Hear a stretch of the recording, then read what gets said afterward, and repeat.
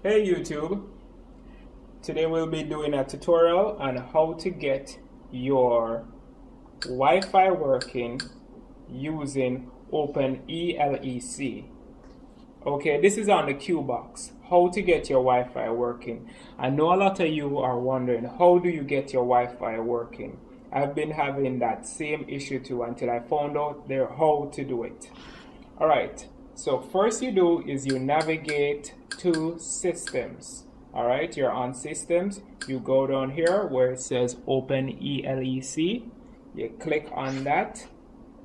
Then you're going to enable your wireless network if you haven't done so. So we're going to go over to wireless network and we're going to enable it. Okay, after enabling your wireless network, we go down to connections okay going down to connections. You should see your wireless connection available. If some of you guys don't see your wireless connection available simply means that you should make it visible first and then try to connect it. If you have hidden your wireless connection you will have a difficulty enabling it. So make your Wi-Fi um, connection visible and then you will see it in connections. And then we simply click on